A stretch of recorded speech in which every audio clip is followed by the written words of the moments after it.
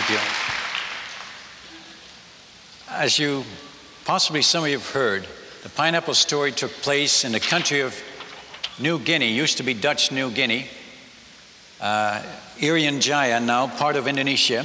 Right here in these swamplands is where we had planted these pineapples.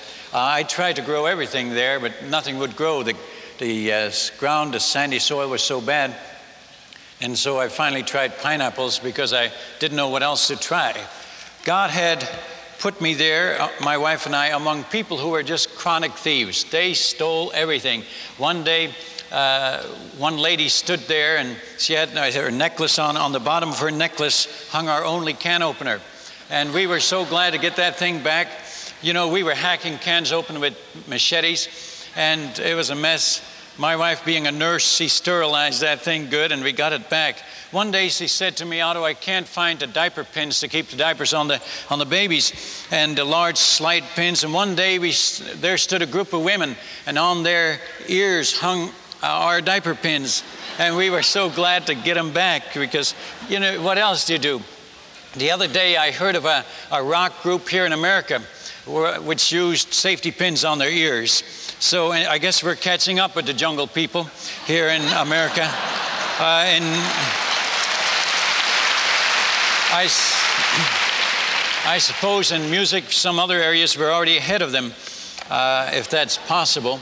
But you know, they stole everything. And God sent me among those people, probably the greatest thieves on earth to teach me the lesson that he wanted me to get, the lesson of Luke 14 33, where it says, Whosoever he be of you that forsakes not all that he has, he cannot be my disciple. Now, I'm Dutch by birth. I was born in Holland, and us Dutch people hang on awfully tight to things we have. Uh, we just, that's the way, it isn't my fault, really. My father was that way. I got it from him. And, uh, and then I found out that he got it from my grandfather, so it really isn't his fault either. But you know, they call us stingy. I, I you know, the word in, in, in their culture here was long nosed, the word for stingy. The long nosed white man, they called me. And uh, the stingy missionary. And I was fighting for all that I had. I mean, I was taught to, you know, uh, to fight back. I fought for everything like they, they stole my uh, shirt. One guy, he's, uh, he's trying to sell me a fish. He had my shirt on. You think the guy would wear it somewhere else. I said, you know, nobody else is wearing any shirts around there. And uh, I said, hey, man, give me your shirt back first, and then I'll trade with you. Uh, they, they took everything. One time, one guy came staggering and he couldn't see straight. And, and then I realized that he's got my wife's subscription sunglasses on. Uh, she hadn't missed him yet. Oh, it was crazy. He's staggering in like this. He doesn't know how to walk. He has no clothing, just glasses. And, and he's staggering in, and, and I took them off his nose. I said, Now you'll be able to walk home. And, uh, you know, oh, they took everything. I'd go to the village with my box. I had a cardboard box. And when I went to visit them, uh, to learn language and so on. And I just gathered up the stuff I found in their homes, you know, got it all back. They called me the missionary with the box. I didn't like that, but I, I'd fill the whole thing up. I found stuff I hadn't missed yet.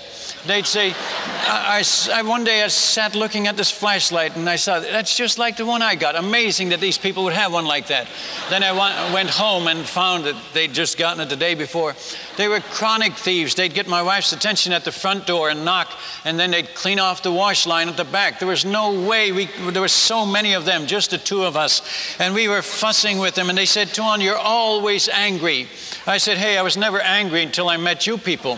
Uh, this is true. Anger had never really been my problem. Uh, I'd, I'd, had other problems, but anger was never my problem until I met them. Uh, I said to them, Hey, I could be a real good missionary it wasn't for you people, you know. Uh, you know, well, I heard a pastor say that here at home too. So you must, uh, you know, I could be a good preacher, pastor if it wasn't for my people. Uh, a teenager told me once I could pass my grades if it wasn't for my teacher. Uh, and then I suppose the man that said uh, I could be a good husband if it wasn't for my wife. Uh, so you have natives around you too. So really, uh, I, I, think you, you'll be able to understand my story. Uh, but they stole all my pineapples and I didn't know what to do. I closed the clinic. I said, no more clinic. They said, You're going to eat all the pills yourself? I said, No. I said, But if you. Um, if uh, you're going to have to make a choice, you either get pineapples or you get pills. If you keep stealing them, you won't get pills. Make a choice. And uh, they kept right on stealing. They were chronic. They couldn't stop stealing. And so they, uh, I closed the clinic and they all went off to their, well, no, they, they sat on my front porch with their headaches, you know, rubbing their toe and give me some pills. And uh, I said, hey, don't sit here hurting. Go sit on your own front porch, hurt there. That's where you eat the pineapples. That's where your head is going to hurt. And uh, oh, they, they, they weren't happy with me. But by the weekend, they let their babies die. Can you believe it? Blamed us that stingy white men, the long nosed white man, won't give us any medicine. And uh, our, this grieved our hearts, of course. And we quick opened the clinic again and thought, well, let's forget about the pineapples. Let them have it uh, have the pineapples will will live, you know, and, and save their lives. And so we uh, endeavored to do this. And two or three weeks come by, went by, and it was time to weed the garden again. They said, Tuan, your garden needs weed. Let me weed it all, you know. And I said, hey, weed, if you're going to eat all the pineapples, weed it yourself. Uh, you know, but they uh, finally I paid them to weed it, and I thought I'd try something else. I hadn't, I'd grown these things. Uh, they, they took three years before they ever produced fruit. And now they'd been producing fruit for a couple of months and they stole them all. And oh, they, I was angry. And, you know, I didn't even know what it tasted like. And I wondered what they taste like. People say, why didn't you beat them to it, uh, to them? And well, they ate them while they were still green. They always, they ate everything green. They never even knew bananas turned yellow. They, they, they, ate everything green. They, see, they were in a society of chronic thieves. Eh, you couldn't survive there unless you knew how to steal. The women would come to our house and would train their children how to steal, always using my pineapple garden as, as training grounds. They, you know, they'd say, now check the windows, now get mommy that big one, so on and all that. And uh, oh, those women. I told them, I said, you know, quit training. They'd beat the kids if they got caught. No wonder they, they, they grow up the way they do. And so we opened a clinic again, and I thought, I've got to think of something else. I've got to get some of these pineapples, and we can't have these people walk all over us. And so I closed the trade store. I thought they can do without the salt and the fish hooks and stuff like that. Matches, they'd never had matches till we got there. And uh, I closed the store. I, well, I told them a week ahead, and they kept stealing, so I closed it all. Now they reacted. They were angry at me. They said, That stingy white man, if, if he doesn't share, no advantage living near him. And so they moved out. They moved to their favorite hunting grounds further towards the ocean this way. And, and we were left there with a grand vacation. Can you imagine how neat that was? They look in every window every moment of the day. Oh, friends, it gets to you after a while. There's no way we could, we go on a picnic, they follow us. You know, they watch us eat. They tell us when we've eaten enough. And then they, you know, they, they want the rest.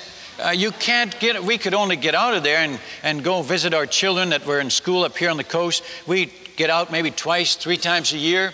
But the rest of the time we were locked in. They were watching everything we did. Now they'd gone through the jungle. Oh, was that neat. I got all my letters written. I got all my reports in. Everybody thought I was a good missionary now. Uh, you know, no people. Uh, and I have nothing more to do. And a plane comes and we're dragging the rice sacks to the house. And he says, Where's your coolies? I said, They've gone to the jungle. And he says, I hope they come back. Well, I was still enjoying the vacation after three weeks, but three more weeks. Oh, the boredom, the monotony in a jungle. Can you imagine sitting on a jungle island with nothing to do? No, no radio, no TV, no uh, books to read, nothing, just eating pineapples. But oh, that was good. And, but you get tired of them, you know. And I'm getting convicted. You know, if only the home churches supporting me knew I, all I was doing here was eating pineapples. I could do this back in the States.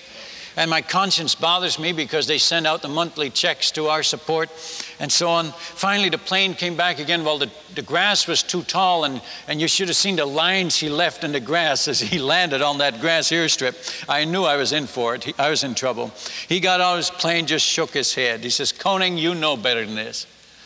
He says, Get your people to cut this. He says, Where's your people anyway? He should have remembered. I told him before. And um, I said, They've gone to jungle. He says, Well, send somebody to call them back. Well, my wife wouldn't go. Uh, hey, and you can't blame her, folks. Those spiders, and those snakes in those jungles and those mud trails with slippery logs and leeches and what have you, she didn't know where they were anyway. He says, Hey, I can't come back till you get that grass cut. I'll call you. We had a two way radio with contact with the MAF base a little north of us and with our mission headquarters. And hey, he says, I can't come back. I'll call you ahead of time. How would you like to be a missionary back there in the jungle and the pilot that comes your way isn't going to come back? And you say, Oh God, I need my natives. I need my people. I need a messenger. And one guy came, stood there smiling, and I said, Hey, get that smile off your face. I'll tell you what, I'm going to give you a job. You, you call all the people, and I'll pay you good. And he smiled again and went off. And I said, Thank you, Lord, you gave me a messenger. And we waited it out in three, four more days. There they were. And they yelling at me. I said, Tuan, we're here. Tuan, we're here. Well, hey, they didn't have to tell me. We could smell them. You know, they, oh, they never bathe. Can you imagine it? Never bathe. They can never sneak up on you. They, and I thought they'll probably steal my pineapples again. They did. And now I tasted them, and now it's even worse. That's when you complain when you've had it good and now you have to cut back. And I was fussing, and they said, Tuan, you're always angry. You're an angry white man. And uh, that bothered me. Uh, you're stingy. And I said, No, I'm not. Leave him alone, I'll show you I'm all right. And, but I tried everything to hard. Finally, I, I got this German Shepherd dog. He was a big, full grown male shepherd. I got him up here in the mountains of New Guinea. Uh, a missionary raised him. And oh, the day when that dog was on the plane, they, they could only see the pilot as he landed. He was in the tail end. All the people, like usual, crowded around that airplane to see what was in there, to see what they would steal next. And oh, I, I, the pilot would Oh, he couldn't get a door open, you know. He said, "Get your, can't you control your people? Get them to stand back there." And I, I do. I'd have a stick, you know, and tap them on the shoulder. Hey, get back! But you know, you don't hit them too hard. They've got nine-foot spears, right? And they're headhunters and cannibals, so you go easy. And they, and uh, you know, I'd back this side off and they'd be dust, and all those flies would get inside his cockpit, and he'd be fighting flies all the way home. And, and he says, Oh, he says, get your people away. Oh, there's another reason he would polish up that plane. Our people never use a handkerchief and get their noses against his glass. And oh, he says, Look at the mess they're making. Can't you? Oh, he was fussing at me and I'd be fussing at the people. So we're both fussing at him.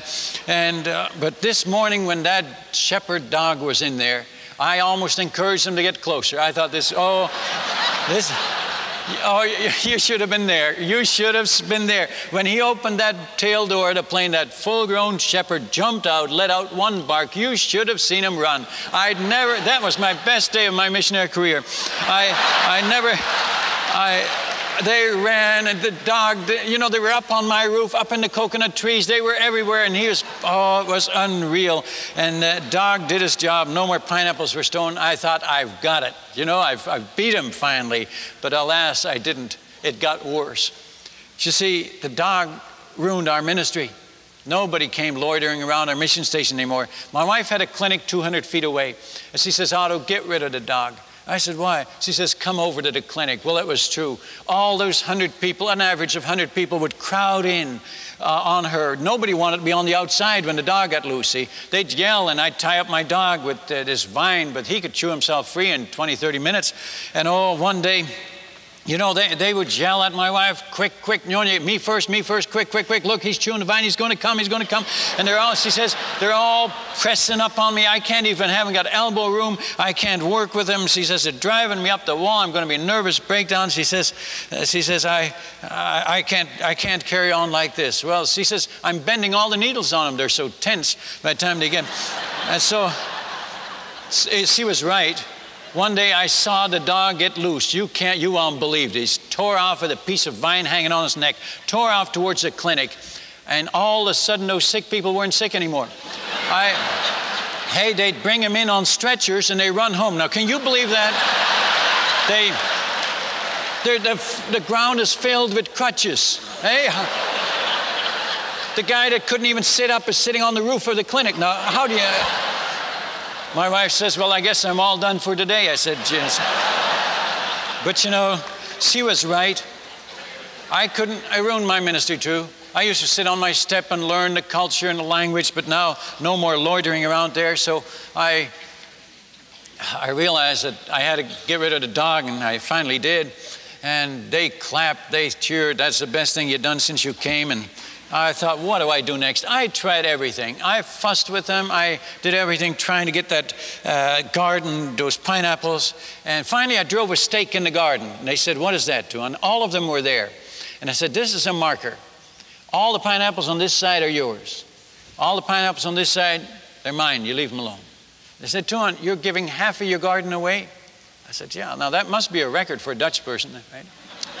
50%. Hey, I was losing it anyway, so really, you're, if you're losing it anyway, you might as well give it away, isn't that right? And they stole both halves anyway. You know? As a matter of fact, it was even, even worse now. They'd, they'd get, my, I see a guy on my side of the garden, I say, I'd yell at him, and he'd jump over the line and uh, stand there laugh at me, you know, with my pineapple. Ah, oh, that got me. I had promised God I'd never get angry again. Have you ever done that? I, I said, God, I, I, it's not right. I'm a missionary, and how can I win these people if I'm angry and I get convicted many a time? And I promised God never get angry again. And then a guy come to my store with a pineapple. Tuan, you want to buy this? Look how nice and big it is. And I, uh, I'd lost it again. I had to confess my sin again. And then I, I walk in my garden with my wife. Some, I see a nice one in the corner of the garden. I covered with grass. Nice one coming up. I thought in two weeks it'll be ripe. I'm going to get one. And I'd hide it, but somehow they always found it. I'd come back and lifted up the grass, and the pineapple was gone. I'd throw that grass down and thought, there's rascals. They're getting them all. And I'd lose it again, and I'd have to confess that I was angry again. This went on and on. How many times does God forgive us anyway? I'm so glad that it isn't 70 times 7. I figured out once that's about a year and a third. you know? Boy, if he stopped, then many of us be in trouble. And God keeps forgiving when I keep confessing. That's 1 John 1 9. You believe that, don't you? If I confess, he forgives. And I'm so glad that's in the Bible. I was camping on that verse. You know, I struggled on. What do I do? I tried everything. And finally, I found out that the guys who were stealing them were the guys that had planted them. And you know what they said? My hands planted them, my mouth eats them. They're mine. I said, No, they're mine. Can you see us standing in the garden? He's yelling at me, They're mine. And I'm saying, Hey, I said, Look, I bought this garden from the chief. I, I bought these pineapple uh, plants from a missionary. I paid the pilot to bring them here. What are you talking about? They're yours. Oh, he says, Tuan, that's true. The garden is yours and the plants are yours, but the fruit is mine. I said, What's your fruit doing on my plants? He says, Doesn't matter where it is. I said, Come on. And I, I, told the chief that I bought the piece of ground from. He says, Yeah, Tuan, that's their pineapples. I said, well, And you, you know what their, their culture, they said, Whatever you plant, that's what you eat no matter whose plant it is or where it is. So their hands planted them. They said, You didn't get your hand, hands dirty. And, and so the whole village agreed. And they said, We always wondered why you're angry over something you don't own. Do you ever do that? Really, isn't everything we own God's anyway? And if we fuss and stew over it, we're, we're just wasting our time, really. And finally, I said, Well, take your, after about two weeks, I said, transplant them into your own gardens. I thought, I'm going to start all over again. I dreaded the thought, three more years. Can you imagine this? Three more years to start all over again. And they, I said, You men come back tomorrow and I'll take all the plants and plant them in your own gardens. They said, Will you pay us, Tuan? I said, No, I'm giving them to you. And they said, Tuan, that's going to be sweating, you know, you got to pay for that. So I, can you imagine that I paid those rascals to take my plants out of the garden? And oh, I, stu- I lost a lot of sleep over this garden. I shouldn't have, but I did.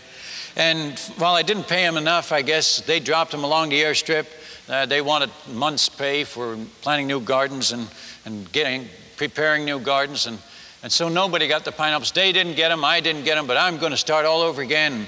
I got a new load and I told them they're going to plant them and I'm going to pay them this extra beautiful machetes. And I said, Now you forfeit your right to own them. They're mine. I'm going to eat them. Your hand's going to use this machete. And so they, they all sudden all wanted to plant them. And year goes by and uh, I said, Do you still have those machetes? I said, Don't lose them. If they lost the machetes, I'd lose my garden. It was a very shaky, risky thing. If you, I didn't have pineapples to worry about now, now I worried about their machetes. They said, Get locks on your doors. Well, they didn't even have doors yet. You know, and uh, there was, uh, but I was so glad to get out of there. I was going on furlough. And oh, I promised my wife I'd never come back and she'd promised me the same thing. And we'd hoped, we told God we'd go anywhere but to those thieves. And, you know, have you ever said to God, I'll go anywhere but there? You know, what does God say? You know, He'll hold you right to it. Don't say it, don't say it. Because He'll, he'll say, He wants to make the choices in our lives, you see.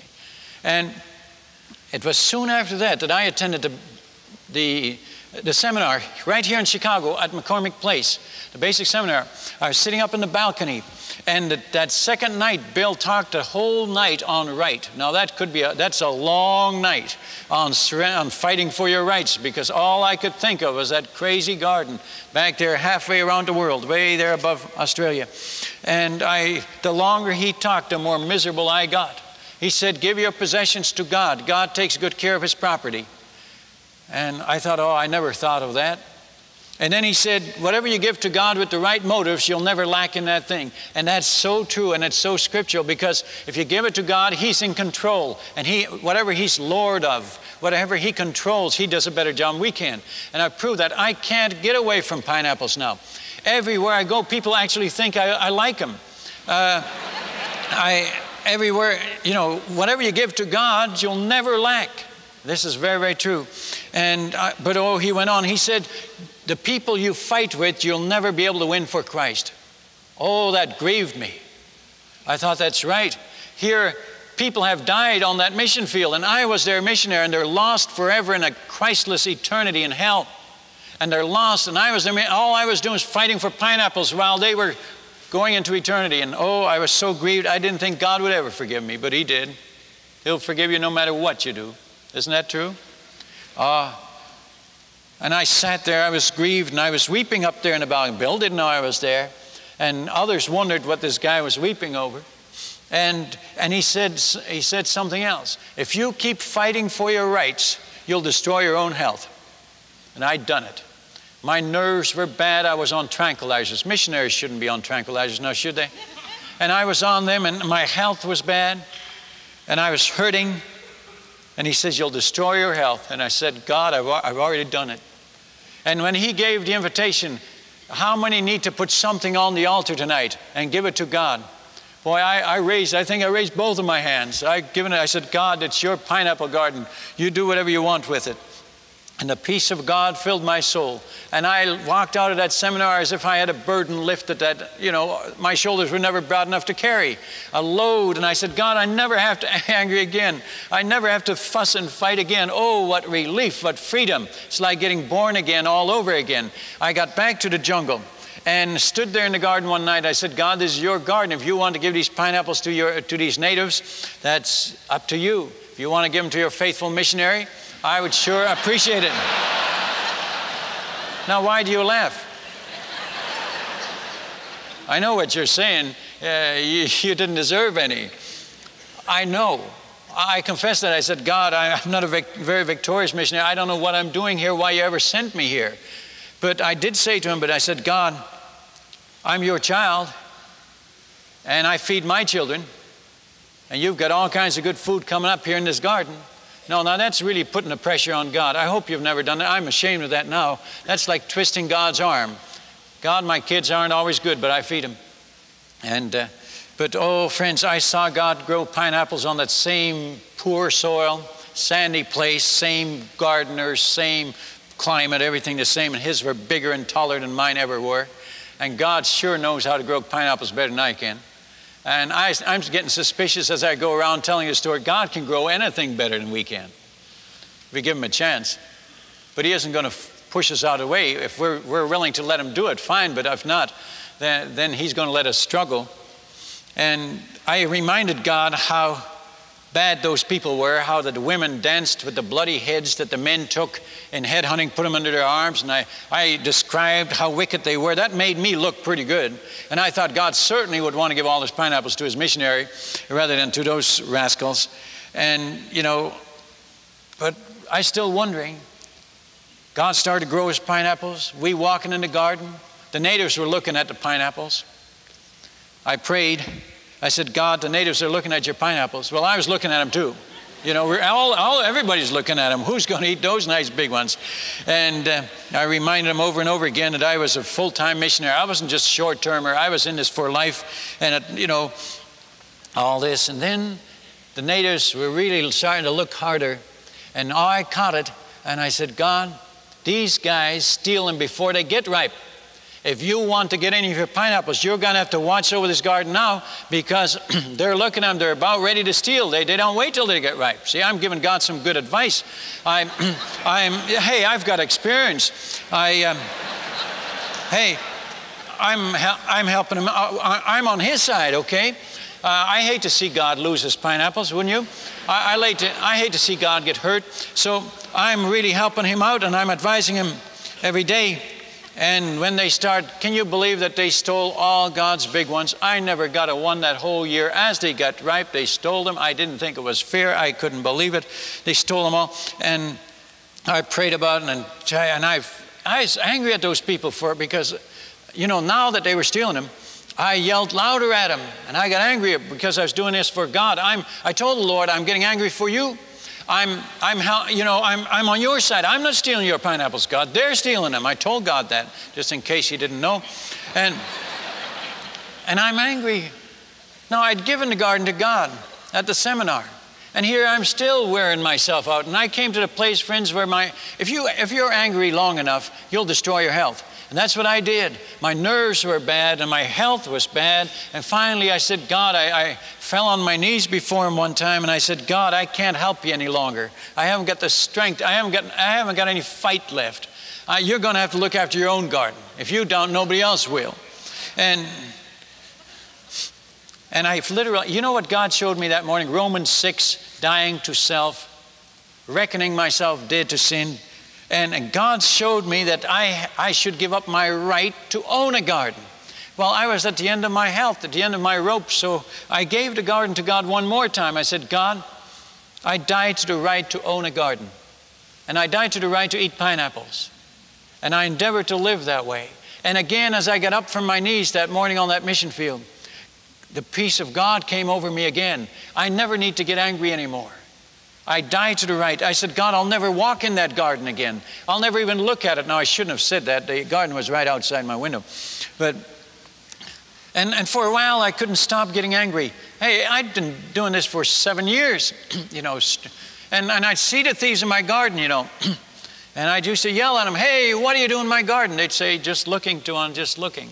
I say, well, do your looking somewhere else, you know. But now that I'd given the garden away, oh, I still sometimes get angry at him. I forget, you know. And then God convicts me, and then I say, Oh, God, forgive me. Once, right in the middle of getting angry, I, God got to me, and I said, Okay, okay, go ahead, go ahead. Steal the pineapples, that's fine. And I, I, shouldn't have told him to steal them, but that's the way it came out. And can you believe that God brought me to a place where I waved at the thieves stealing the pineapples? And they said, He's gone blind. I was taking his pineapple, his, his eyes are bad. And I said, No, I saw you, man. I just didn't say anything. But now God dealt with me on that too. I said, Hey, if you're dead to that thing, you don't worry about what they say. And so when they stole, I turned my back. And for a while there, I said to the Lord, I said, God, look this way, look this way. You catch him right in your garden.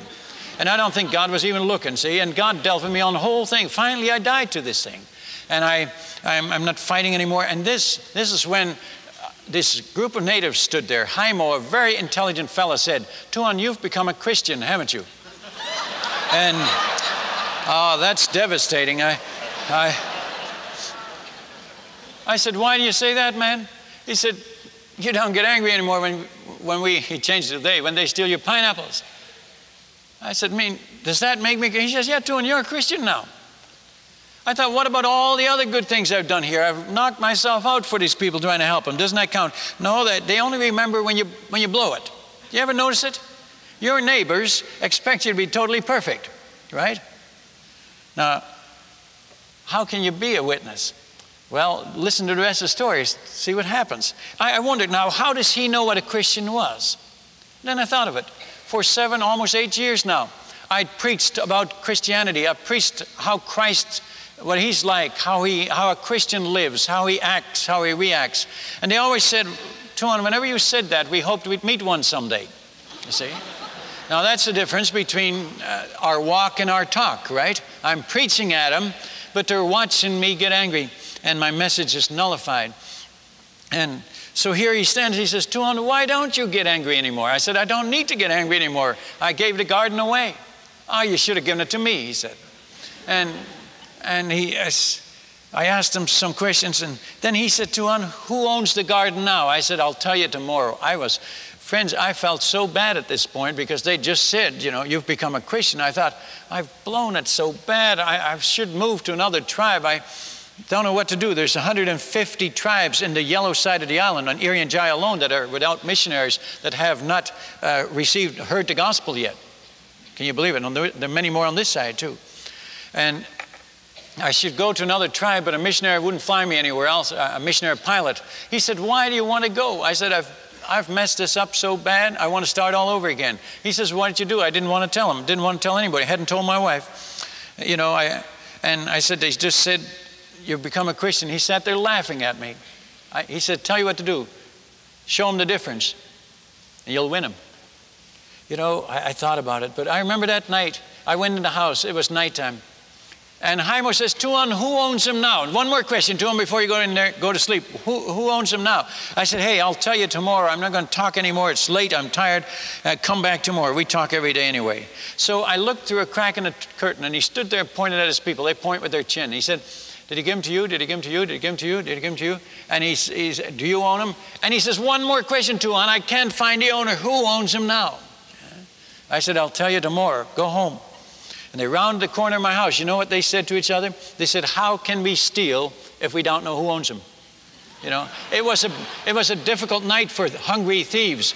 Uh, can you imagine the agony of a hungry thief when he can't, you know, the, the, the biggest headhunter might, might own him, the witch doctor might own. Him. So, all that night, I couldn't sleep, folks. My conscience was, I was awake. They, I've just become a Christian. I felt so bad. I was awake. I said, Oh God, I, am starting all over again. I thought I was starting over at the seminar, you know, two years ago. And then, you know, when I gave you control of the garden, I thought I was starting. And now I'm starting. How many times do I have to start over? And I felt so bad. But you know, the amazing thing, as I lay on my mattress that night, I heard commotion in the village. Everybody was awake. Those guys were at, gone. They woke up everybody trying to find the owner of the garden desperate, hungry thieves. And I thought, you know, this is neat. Finally, they're all losing a night's sleep over this garden. And I just, made me feel so good. They went with torches through the next village. Can you believe this? At night, snakes and all. They went through and woke up the next village trying to find the owner. Never did find him. And early in the morning, I must have fallen asleep because they woke us up. And they were all around our house. And I woke my wife up and I knew what this was all about, but she didn't and she's afraid. And she says, What is it, honey? What is it? I said, Calm down, Carol, just calm down. No problem at all. I know what this is all about. You'll enjoy this. You join me outside and you'll enjoy this one. Well, now, she had never, my wife is a night person, you know, and she'd never seen the sunrise yet in New Guinea. And, and I'd often say, You've got to see the sunrise. And she says, Ah, she's smart. That's just a sunset backwards, she'd say. Uh, once he said, God wanted me to see the sunrise, He'd schedule it later on in the day. And, but you know, it was beautiful. It, it, was really beautiful that morning. My wife saw the sunrise. It was neat. Curiosity got her. And there stood all those natives with their hands across their chests like this in the dampness of the early morning. All of them were there. And I said, Good morning, men. What do you want? One shout. Who owns the pineapples? I said, I gave them to my God up in heaven and they start to rub their nose. That's how they think. Uh, you know, it's neat. you can't laugh at them. When you see the whole 300 of them real, thinking real hard, you know, they rub their nose. and uh, oh, it's, it's neat when you're preaching, you know. You at least know when your audience is thinking. Um, it sometimes gets to be a real mess, you know, when they never blow their nose, but. But anyway, you, you know, we think scratching, I, I, used to think scratching my head, you know, and they'd say, Tuan, you got those bugs too miserable, aren't they? You know, but they stand there, you know, you can't laugh. We're pinching each other, standing there with straight face, you know, you can't make fun of them. And so uh, they think, Tuan, doesn't your God have any pineapples up there in heaven? I said, I don't know. Gave them anyway. And they thought some more. And one guy says, Tuan, how many, uh, how many moons ago did you give your garden to your God? And I thought a little while and I said, Well, I said, um, Oh, we learned to think like that too, you know. Uh, matter of fact, I was in our uh, mission candidate school, and way up there on the top row, uh, as I was saying this, a guy let out this loud sneeze, and somebody else shouted, he blew his mind. and so I guess you can, I guess you can blow your mind in more than one way. But anyway, here they're standing there thinking, they said, I thought it well. I said, oh, maybe, I said five, six moons ago. And then the strangest thing happened. There started a commotion start, and they started to talk, and they started to get louder, and they got excited, and they got angry. And I heard snatches of it, and they said, Tuan, get in there, go in your house, and get on your knees, tell your God you want the garden back. I said, Oh, I don't want the garden back. I've been so happy not owning it. Have you ever been happy not owning something? Oh, I can sleep again now. My, my worries are gone. My anger is gone. My health is improving. My nervous system is improving. Hey, I'm so happy not to own it. And don't envy the rich man. Uh, he's got more worries than you'll ever have. But, friends, I, I said, No, I, I don't want. We want you to own the garden. I said, Why? He says, You're the cause of all the problem. You tell your God you made a mistake because you did. You tell him you made a mistake and get it back. I said, I didn't make a mistake. I feel it's the best thing I've ever done. They said, Oh, Tuan, but you didn't make a mistake. I said, Why are you saying this? Well, why are you're the cause of all the problems. They'd had powwows, they'd had talks, they'd offered witchcraft to the demons. You know why? Because nothing was going right in the village. After I gave my garden to God, everything started to go wrong for them because they were touching God's pineapples, and He can take good care of them.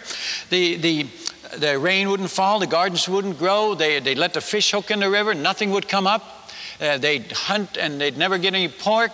We hadn't gotten pork for months. Uh, they, they said our women get, aren't getting pregnant. We're, there's no babies being born. We're going to be outnumbered by the enemy tribes. They said everything is wrong to them. They'd been making sacrifices to the demons.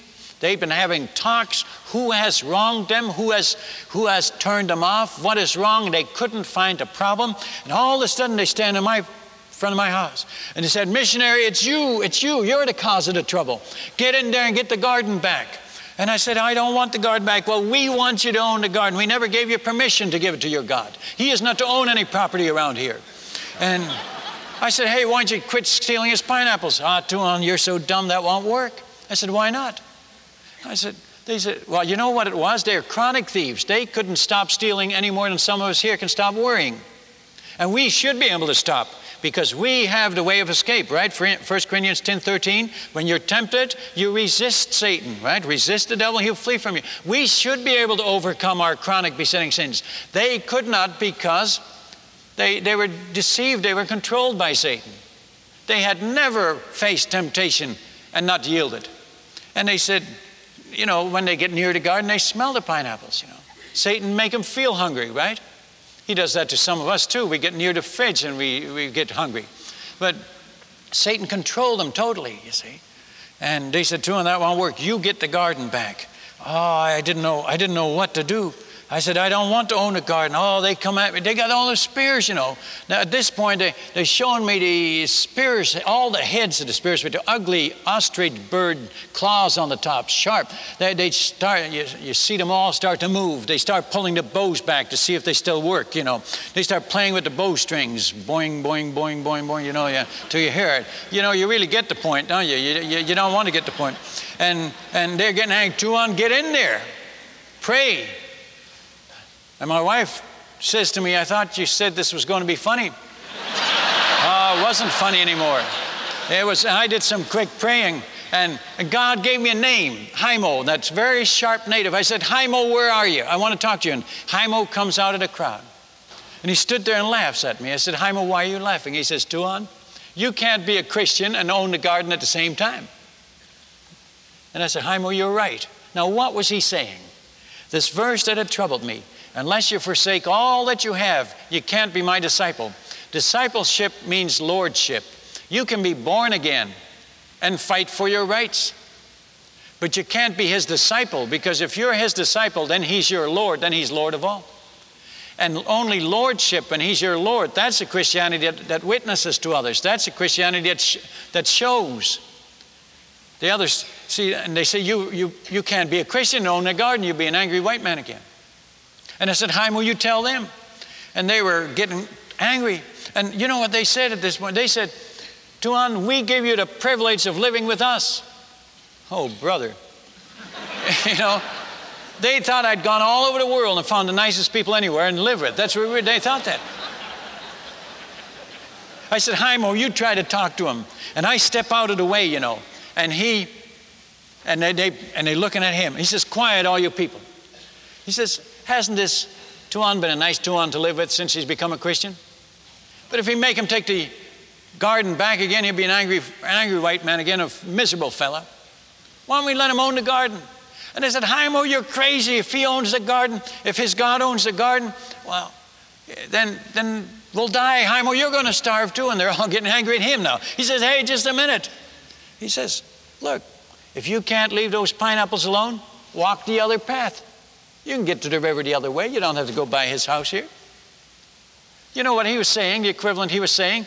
Like we say, if you've got a problem with alcohol, don't go by the tavern. That's what he's saying. He says, You won't smell them, you won't even know they're there. Let his God own them. Then he can be a Christian. I said to Jaimo, I said, I really want to be a Christian, Jaimo. I've so enjoyed being a Christian. Let me be a Christian. And he says, He really wants to be a Christian. Let's let him be a Christian. They start to rub their nose again. What are we going to do with Tuan, you know? And I'm just waiting this thing out. And finally, one guy says, Tuan, does your God see in the dark? I said, Yes, he does. And that was the first realization that they had that God knew everything and could see in the dark. And most sin is carried on in the dark, and they realized that God could see in the dark. And that really worked for us. They under, start to understand God. And another guy says, God, eh, Tuan, your God's big, isn't he? I said, Oh, yes, he's big. He controls the rain, he controls whether your wife gets pregnant. He controls whether you fish, whether you catch fish, whether you shoot pigs. He controls whether your child gets sick. Everything. You can't even breathe without God's help. You'd die if it wasn't for God's sustaining power in your life. Oh, they, God is big. They said, I'm not going to steal pineapples anymore.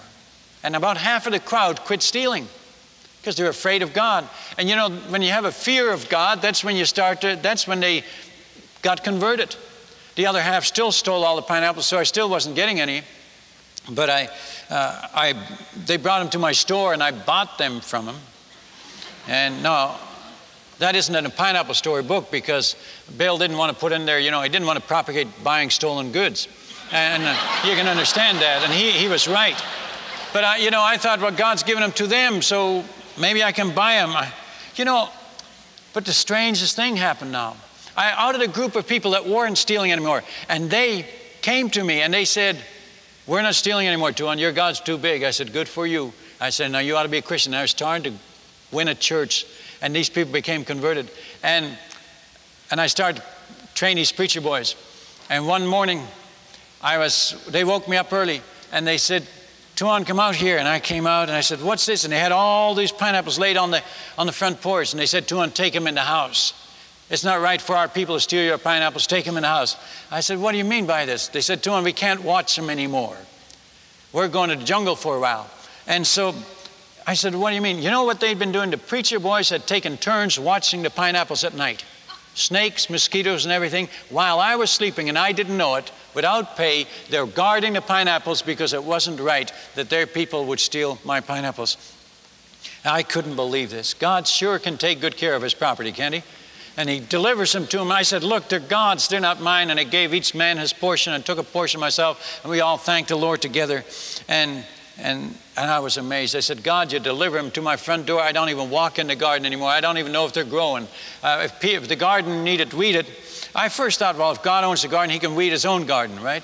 And, you know, that's not the way you do it. Friends, I become the manager. I'm the steward. He owns it. I'm working for him. If the garden needs weeded, I send him in to weed it, you see. And, oh, God did marvelous. You know what happened to the thieves? They kept stealing. Well, once it went this way with the pineapples, I gave my banana trees to God too. Oh, friends, the way God can grow bananas. Uh, we had to prop up the trees. The, the bunches were so big, it's soft stem tree, and they would fall over, and the papaya and the coconuts, and we gave the whole thing to God. And really, we were exporting fruit now. Uh, the MAF plane would come and we'd load it up and I'd send it to other missionaries. And they'd say, Where'd you get this beautiful fruit? How is it that you got assigned to the paradise of the South Coast? You know.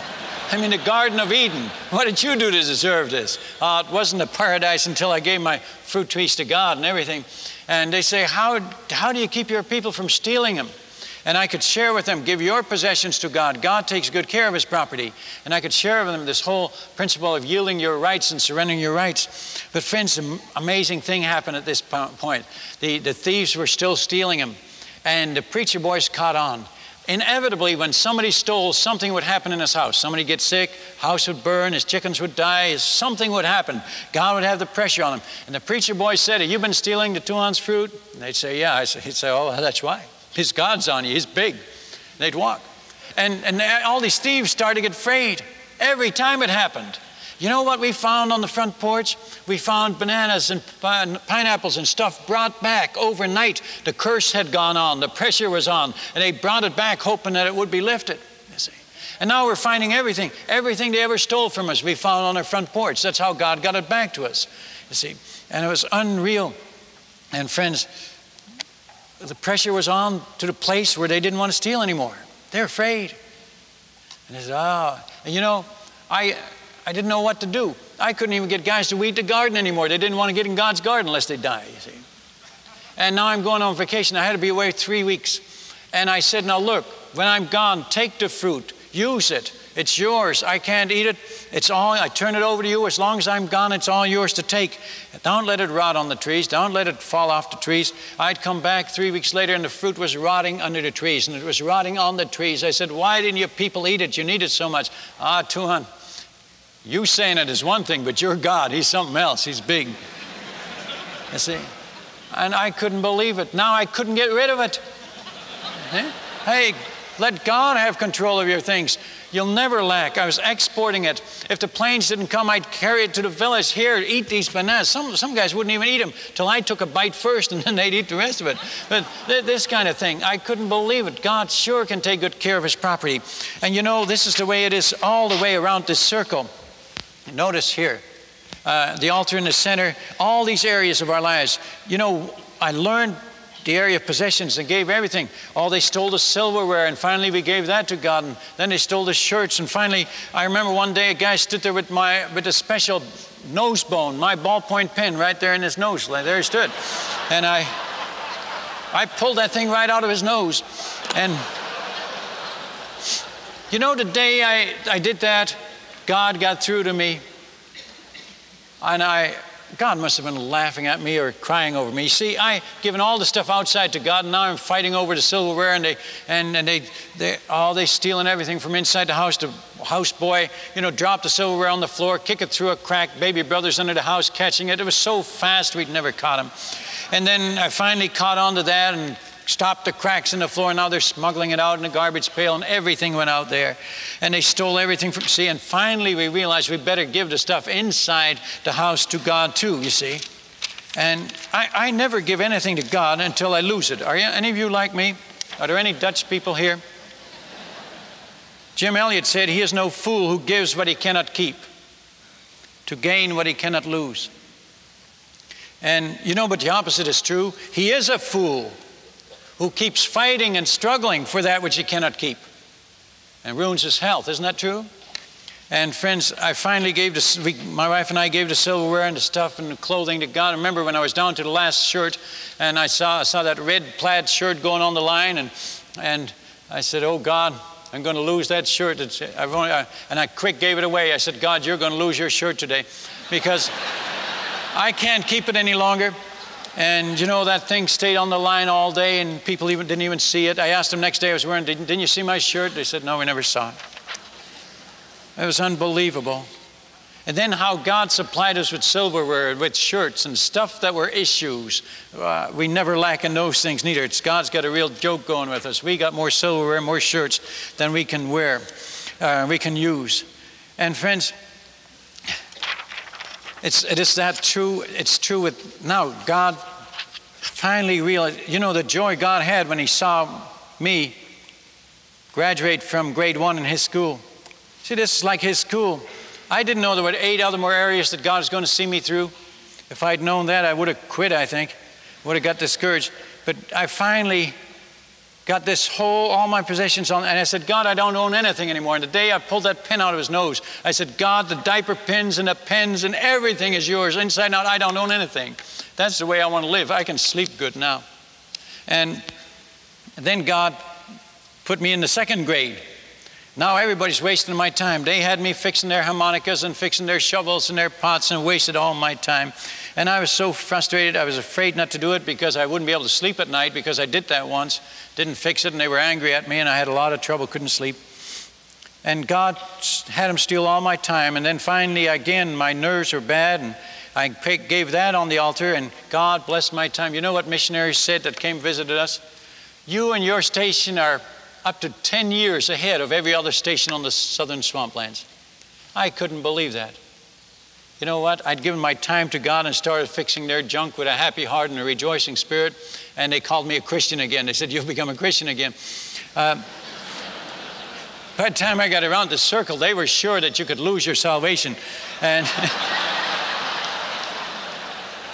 but you know, because I, I myself, when I was struggling in this area of time, I thought I'm so backslidden. I was so happy back when I gave my possessions to God, I, and now I'm struggling again. I'm so backslidden. No, I'm not backsliding. I, I'm in grade two, you see.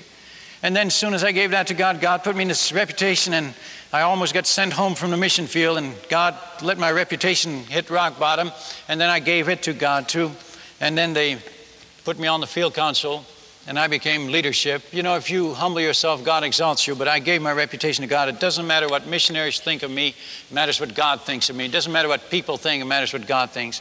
But in every area I fought, and then almost losing our children, dying out there in the jungle with no doctor and no help, and then waiting till they're almost dead, and then giving them to God. Oh, friends, why do we wait so long? Why don't we just let God take control of every area of our life? And as we've preached this, we've found in the area of health, when people surrender their right to be healthy, how many people get healed. It's just so beautiful. You know, uh, when they say, All right, God, I quit, I'm going to quit fussing about this, I'm going to quit praying about this and pleading, I'm going to surrender. You get so much more done, folks, by surrendering and rejoicing than by pleading and begging. And so, surrender and rejoice and let God have His way and, and let Him do and never ask again. God knows the desire of your heart. He knows what you've prayed in the past and let Him do it in His time. And I find that people surrender their right to be healthy, so many get healed. God says, hey, they've learned a lesson involved with this problem, and that's the way it is in every area of our circle. But I fought in each area and I struggled, and that's miserable. And the more you fight and the more you fight, uh, struggle, the worse the problem gets. And my brother John was a missionary in the Dutch Antilles. And there, these Dutch, Dutch people down there had this Dutch swing. Have you ever seen a Dutch swing? And you'd really get banged around on that, wouldn't you? I don't think it's a Dutch swing. I don't really think it is, but that's what he said. Uh, and then he says, two engineers came from Holland and they solved the problem. and he said to me, he said, Well, what's the matter? I, I didn't laugh. He says, Don't you like my joke? I said, No. It reminds me of my pineapple garden, the way I struggled. The more I struggled, the worse it got. The more, I mean, my losing my health besides now, my nervous system. And I, I said, No, I, I said, that's, this represents us solving our own problems. I used to say, but I don't say it anymore, I used to say that this represents a church problem after the board gets through with it. But that, that doesn't sound very good. But God has ways of solving our problems. He had a branch there all the time. Friends, as long as you try to solve your own, God won't push you out of the way. He's waiting for you to let Him do it. I, I think we should all bow our heads. Will you all bow your head with me? Maybe God is speaking to you about a garden you own. Are any of you doing what I'm doing? Are any of you losing your health or your nervous system? Or you're struggling and fighting and they're saying, hey, you're, you're losing your witness? because you can't win the ones you, you, you're fighting with? Would you say to God right now, right where you're sitting, Lord, forgive me. I give my garden to you. Have your way. And would you say one more thing? God, remind me to do it again tomorrow morning. Surrendering rights is daily. Every day we have to give it to, after we confess our sin, then we surrender our rights and say, God, it's yours again. And then you don't have to worry about it, you don't have to fear, and you don't, you don't have to get angry over it. Oh, and you'll have all this free time if you don't have to worry. And you'll be rejoicing, no load will be lifted, just like Pilgrim when he came to the cross, remember? And, and that burden fell off his back and rolled down the hill. Remember that? And he was free. You can go out of this place tonight free, with peace in your heart, with joy like you don't believe possible when you give that problem, let God have His way. I would like to ask this question How many of you are giving something to God? Would you raise your hand? Praise the Lord. There's a lot of hands all over the place. Oh, that's good. One more question How many here are struggling? Would you raise your hand? Yes, there are people struggling. I appreciate your honesty. Let us pray. Heavenly Father, these dear ones that are struggling, would you bring them to the end of their rope in quick time, would you help them to see so that they wouldn't have to ruin, ruin their health and their lives? Father, we pray that everyone in this place tonight might come to the place of surrendering their rights to you, letting you be Lord of all, so that the world might see that we're Christians now by our life, and that we might become witnesses to you and might be able to win those around us, our neighbors, our natives, whatever they are, to you. So give us all a great victory as we surrender to you. In Jesus' name we pray. Amen.